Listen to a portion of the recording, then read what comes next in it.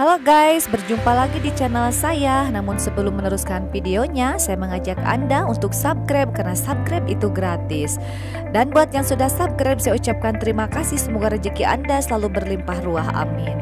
Oke guys, saya meneruskan uh, trailer Ice yang sudah tayang di episode sebelumnya ya.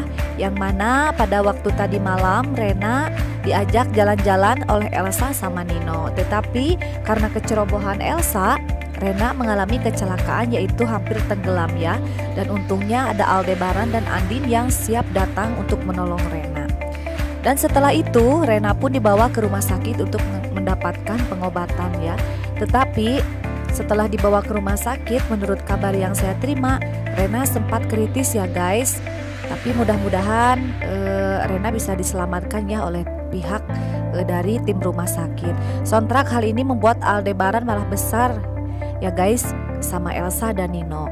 Tetapi momen ini sengaja dimanfaatkan sama Elsa untuk menjelek-jelekan Aldin dan Aldebaran ke pihak Panti bahwa kejadian tersebut adalah adalah murni dari kecerobohan Aldebaran dan Andin. Padahal justru hal ini sangat berbalik kenyataannya ya guys, yang mana ini adalah kecerobohan Elsa sendiri yang telah membiarkan Rena uh, di kolam renang sendirian.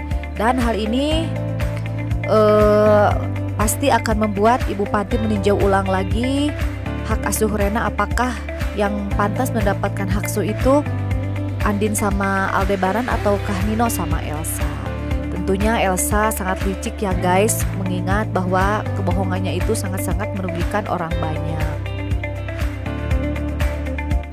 Tetapi guys, kali ini sepertinya Elsa tidak akan lama bertahan dengan kebohongannya karena Elsa melupakan sesuatu bahwa di kolam renang tersebut ada CCTV yang tidak dapat membohongi siapa pun ya guys tentunya.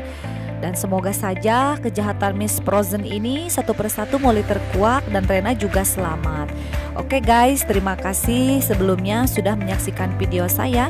Jangan lupa di komen, di subscribe, di like, dan di share ya untuk perkembangan channel saya dan mudah-mudahan trailer yang saya jelaskan tadi akan sama dengan penayangan di RCTI nanti malam. Tentunya jangan lupa ya guys, saksikan terus Ikatan Cinta hanya di RCTI. Terima kasih, semoga video ini bermanfaat.